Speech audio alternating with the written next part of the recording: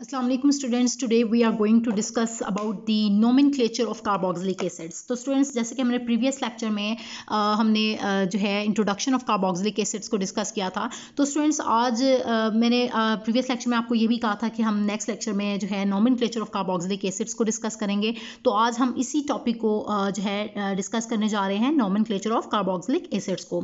तो स्टूडेंट्स हम सबसे पहले इसमें जो है नोमिन क्लेचर की बात अगर हम करें तो नोमिन क्लेचर का मतलब है कि नेम नेम देना, ठीक है? नेमिंग ठीक है? तो कार्बोक्सिलिक एसिड्स को हम कैसे नाम देते हैं? तो इसके बारे में मैं आपको थोड़ा बहुत बता देती हूँ कि पहले जब बिल्कुल स्टार्ट था तो उस वक्त कोई सिस्टम इनके लिए नहीं बनाया गया था। तो हम क्या करते थे? सिंपल कॉमन नेम्स के थ्रू जो है हम कॉमनली हम जो भी हमारे माइंड में आते थे, यानी कि सोर्स के थ्रू यानी कि कोई भी सोर्स जिससे हमने एसिड डिराइव किया है तो हम उसको नाम, उसका नाम दे देते थे। उसी, जिस सोर्स हमने उसको डिराइव किया होता था। या फिर जिस एरियाज़ हमने डिराइव किया होता था तो हम जो है उसको वो नाम दे देते थे, ठीक है?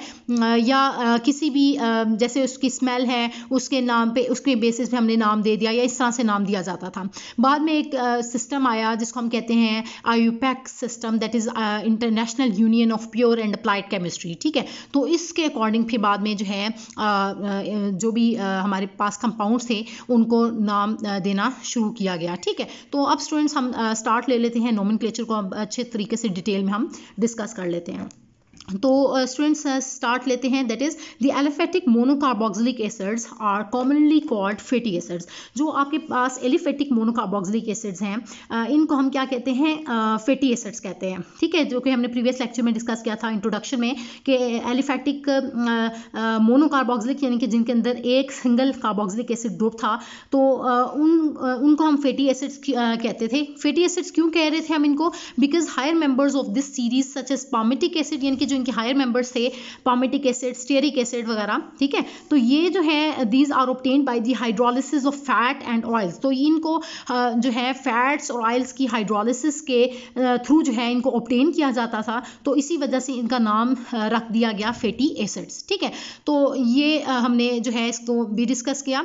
तो अब हम इसके जो है नोमिन की तरफ़ आते हैं कि दी एलिफेटिक मोनोकार्बोक्सिलिक एसिड्स में बी गिवन कॉमन नेम्स और आयुपेक नेम्स नेम्स और इनको मैंने अभी बताया आपको जैसे कि इनको जो है स्टार्ट में कॉमन नेम्स के थ्रू जो है इनको दिया जाता था कॉमन नेम दिया जाता था, ठीक है? या बाद में फिर क्या किया गया कि इसको एक प्रॉपर सिस्टम के थ्रू इनको नाम देना शुरू किया गया, जिसको हम कहते हैं IUPAC system that is international union of pure and applied chemistry ठीक है? तो इसके थ्रू नेम देना स्टार्ट किया गया। तो स्टूडेंट्स हम सबसे पहले जो है, हम कॉमन नेम्स को डिस्कस करेंगे कॉमन नेम या फिर इसको ट्रिवियल नेम्स भी कहते हैं, ठीक है?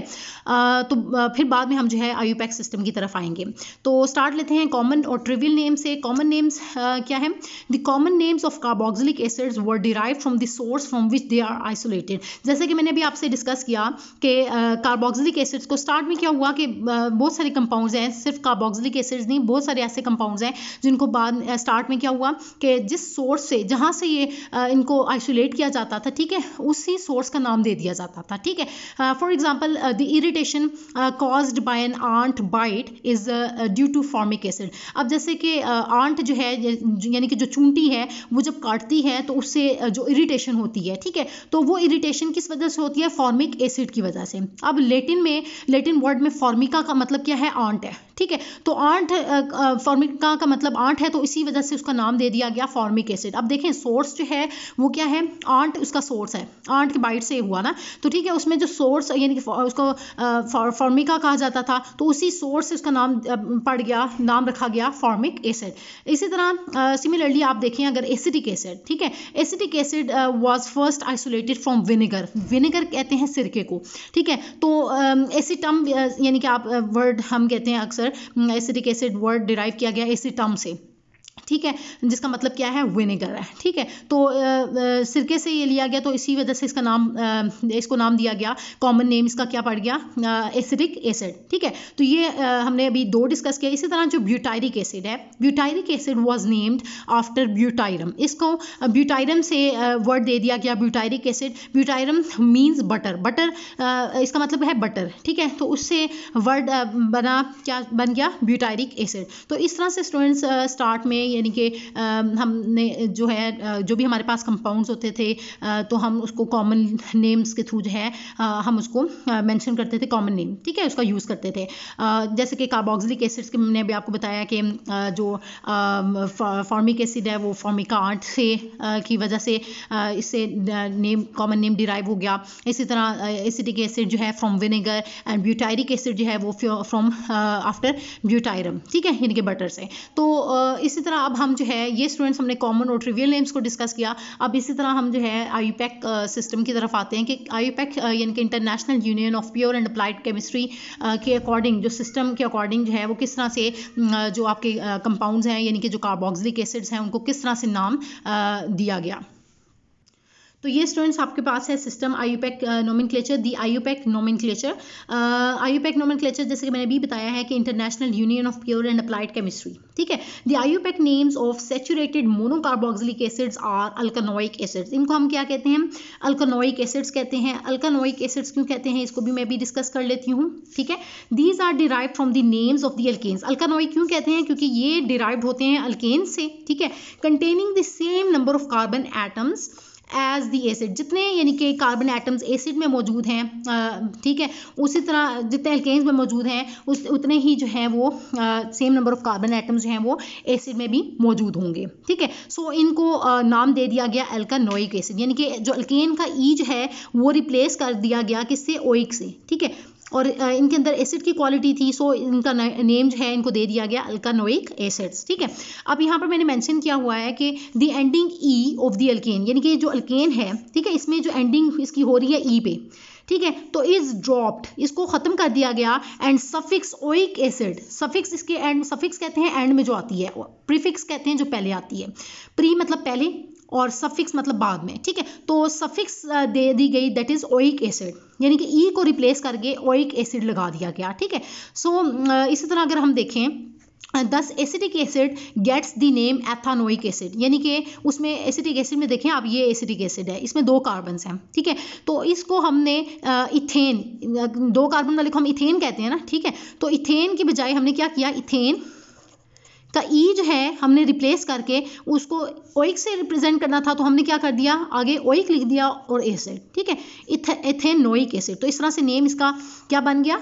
आईपैक सिस्टम के अकॉर्डिंग आईपैक नोमिन के अकॉर्डिंग इसका नेम पड़ा एथानोइक एसिड अगर इसी तरह थ्री कार्बन वाला है तो हम उसको क्या कहेंगे? प्रोपेनोइक एसिड अगर चार वाला है तो हम उसको क्या कहेंगे? ब्यूटेनोइक एसिड इसी तरह से आप जो है वो फर्दर अपने जो भी कंपाउंड्स हैं, उसको आप कार्बन के कार्बन को देख के हम उसको नेम देते जाएँगे. तो ये स्टूडेंट्स हमने आईपैक नोमिन क्लेचर के थ्रू जो है, हमने इसकी नेमिंग को डिस्कस किया. अब फर्दर जो है हम इसको डिस्कस कर लेते हैं कि हमने किस तरह से इसको नंबर नंबरिंग कैसे करनी है ठीक है इनकी? So the position of substituents are identified by the Arabic numerals with the carboxyl group given number one as shown below अब इसमें जो सब्सटीट्यूएंट्स uh, हैं uh, जो इसके साथ लगे हैं ठीक है तो उनको क्या पोजिशन देनी है? उनको हमने अरेबिक न्यूमरल से रिप्रेजेंट कर रहे हैं। ये जैसे कि मैंने यहाँ पर मैंशन किया हुआ है with the carboxyl group given the number one अब इसमें कार्बोक्सिल ग्रुप जो है ये आपका कार्बोक्सिल ग्रुप है पता है आपको? सी डबल बॉन्ड ओ और एंड ओ एच ठीक है ये। ये जो कि मैंने यहाँ पर हाईलाइट कर दिया है। तो ये आपका कार्बोक्सिल ग्रुप है, ठीक है? इसको आपने नंबर वन देना है, यानी कि ये आपका फंक्शनल ग्रुप है, और इसको आपने नंबर वन दे दिया, ठीक है? और इससे जो अटैच नेक्स्ट होगा तो ये अब आपने इसको नंबर टू दिया, फिर नंबर थ्री एंड फोर और इसी तरह अगर चेन चलती जा रही है तो आप उसको five six up to so on करते जाएँगे, ठीक है? लेकिन स्टार्ट आपने जो देना है, वो कार्बोक्सिलिक ऐसे ग्रुप जो है, उससे आपने स्टार्ट देना है, और उसको नंबर वन मैंशन करना है, ठीक है? तो ये हमने इसकी पोजिशन को भी डिस्कस कर लिया, और इसको किस तरह से नेम देना है कि ई जो है अल्केन के ई जो है एंडिंग ई जो है, उसको रिप्लेस कर देना है ओइक एसिड से। इसको डिस्कस किया। तो अब स्टूडेंट्स हम कुछ जो है, वो कंपाउंड्स को डिस्कस कर लेते हैं, जिनको हमने कॉमन नेम्स उसके क्या कॉमन नेम्स हैं, और उसके उसको आयुपैक सिस्टम के अकॉर्डिंग क्या नेम दिया गया, उसको हम जो है, वो टेबलेटेड फॉर्म में टेबल की फॉर्म में डिस्कस कर लेते हैं।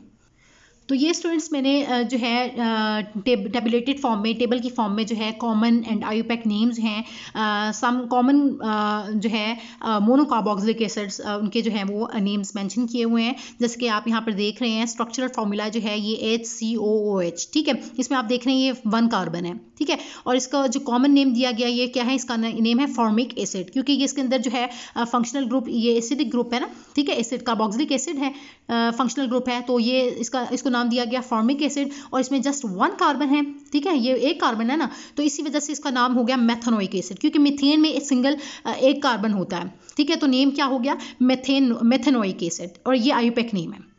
कॉमन नेम इसका क्या है? फॉर्मिक एसिड और आयुपैक नेम जो है वो मैथानोइक एसिड अगर इसी तरह आप देखें नेक्स्ट जो हमारे पास कंपाउंड है, इसमें सी एच थ्री सी ओ है, जिसको हम क्या कहते हैं? एसिटिक एसिड कहते हैं कॉमन जो कॉमनली हम इसको कहें तो कॉमन नेम जो है वो इसका क्या है? एसिटिक एसिड और इसमें दो कार्बन हैं ठीक है? तो उसके लिहाज से आप देखें तो इसमें नाम इसका क्या है? Ethanoic acid. एथेनोइक क्यों कह रहे हैं? क्योंकि इनमें दो कार्बन होते हैं। तो एथेनोइक एसिड में फिर इसी तरह आपने जो है देखा कि दो कार्बन जो हैं वो इसमें मौजूद हैं। इसी तरह आपने थर्ड देख रहे हैं आप, इसमें कितने कार्बन हैं? तीन कार्बन हैं। तो इसको नाम आपने क्या, इसका जो कॉमन नेम है वो क्या है? प्रोपियोनिक एसिड है। क्या नाम है? Propionic acid.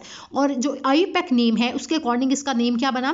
Propanoic acid. अब आपने ये बात याद रखनी है कि ये methane, methanoic ethanoic propanoic acid. और इसमें अक्सर बच्चे ये मिक्स कर देते हैं। इसको कॉमन नेम जो है वो प्रोपियोनिक एसिड है। और जो इसका आयुपैक नेम है वो प्रोपेनोइक है प्रोपेनोइक एसिड ठीक है, इनको मिक्स नहीं कीजिएगा। उसके बाद आप आज आप देख रहे हैं ये हमारे पास नेक्स्ट कंपाउंड है जिसमें फोर कार्बन्स हैं। ठीक है, और ये फंक्शनल एसिड जो एसिडिक ग्रुप जो है कार्बोक्सिलिक एसिड ग्रुप भी लगा है। तो इस वजह से नाम एसिड है। ठीक है? सो so, ये इसमें चार कार्बन है आप देख रहे हैं one two three and four और नंबरिंग कहाँ से करनी है? क्योंकि ये कार्बोक्सिलिक ग्रुप को आपने फ़र्स्ट नंबर देना है ठीक है? तो ये आपके पास वन टू थ्री फोर यानी कि चार कार्बन तो ये हो गया ब्यूटायरिक एसिड कॉमन नेम है। और आयुपैक देखें तो ये ब्यूटानोइक एसिड है ब्यूटानोइक एसिड अब इसके बाद नेक्स्ट आप देख रहे हैं नेक्स्ट हमारे पास कंपाउंड है। और इसमें आप देख रहे हैं कि ये आपका एसिड ग्रुप है कार्बोक्सिलिक एसिड ग्रुप और इसके साथ इसका नंबर हो गया वन और इससे नेक्स्ट जो आप देख रहे हैं ये टू हो गया इसका नंबर और ये हो गया थ्री और इस सेकेंड पोजिशन पे ये जो सब्सटीटेंट है मिथाइल ग्रुप ये सब्सटीटेंट इसके साथ अटैच्ड है, ठीक है? तो इसको अगर कॉमन नेम देखें तो कॉमन नेम इसका क्या है? Isobutyric acid iso mean second position पे प्रेजेंट है. सो ये हुआ आइसोब्यूटायरिक एसिड ब्यूटायरिक एसिड क्यों कह रहे हैं? क्योंकि इसमें चार कार्बन है। ठीक है? सो आइसो ब्यूटायरिक हो गया और एसिड क्यों? क्योंकि इसके अंदर फंक्शनल ग्रुप जो है कार्बोक्सिलिक एसिड ग्रुप प्रेजेंट है। ये हुआ इसका कॉमन नेम और आयुपैक नेम्स देखें तो इसमें आयुपैक इसका आयुपैक नेम क्या है? टू मिथाइल प्रोपेनोइक एसिड है। ठीक है? टू मिथाइल प्रोपेनोइक एसिड अब इसका नाम टू मिथाइल प्रोपेनोइक एसिड कैसे बना? इसको देखें। तो ये आप देख रहे हैं टू यानी कि सेकंड पोजीशन पे मिथाइल ग्रुप लगा हुआ है। तो टू मिथाइल ठीक है? प्रोपेनोइक एसिड क्यों? क्योंकि इसमें आप दो, तीन कार्बन हैं। यानी कि चेन में अगर देखें तो ये कंसिडर हो चुका है, ठीक है? सब्सिट्यूएंट और ये क्या है? तीन चेन चेन जो है, वो क्या है? इसमें तीन कार्बन हैं तो ये क्या हो गया? प्रोपेनोइक एसिड और एसिड क्यों? क्योंकि इसके अंदर ये कार्बोक्सिलिक एसिड ग्रुप है। तो इस तरह से नाम इसका पड़ा टू मिथाइल प्रोपेनोइक एसिड तो ये स्टूडेंट्स हमने जो है कुछ जो कंपाउंड्स हैं मोनोकार्बोक्सिलिक एसिड जो हैं कॉमन मोनोकार्बोक्सिलिक क्यों कह रहे हैं? क्योंकि इनके अंदर सिंगल या वन वन कार्बोक्सिलिक एसिड जो है वो ग्रुप फंक्शनल ग्रुप मौजूद है। आप देख सकते हैं इसमें भी एक है, इसमें भी एक है, इसमें भी इसमें भी और इसमें भी। सब में जो है सिंगल कार्बोक्सिलिक एसिड ग्रुप मौजूद है। इसी वजह से हम इनको कह रहे हैं मोनोकार्बोक्सिलिक एसिड तो हमने ये जो है कुछ मोस्ट कॉमन जो है मोनोकार्बोक्सिलिक एसिड्स के स्ट्रक्चर्स को डिस्कस किया और इनके common name as well as IUPAC names को जो है हमने डिस्कस किया। तो ये स्टूडेंट्स uh, uh, सारा था नॉमिन क्लेचर होप्सो के आज का लेक्चर जो है वो आपको समझ आ गया होगा और इस लेक्चर से रिलेटेड कोई भी आपके माइंड में कोई भी कन्फ्यूज़न है कोई भी क्वेश्चन है तो वो आप मुझसे कमेंट्स में पूछ सकते हैं। Thank you so much students